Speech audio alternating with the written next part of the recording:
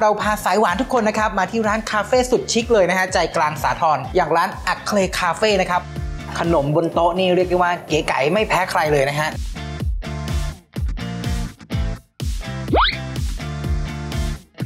เอาไปสิบดาวเลยอันนี่ Wow.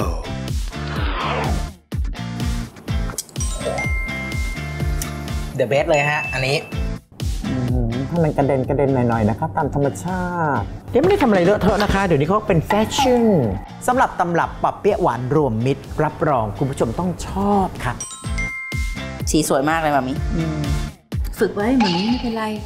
เนอะนานาทำบ่อยแล้ว เออจ้ะโอเคแล้วล่ะอะโอเค I close one eye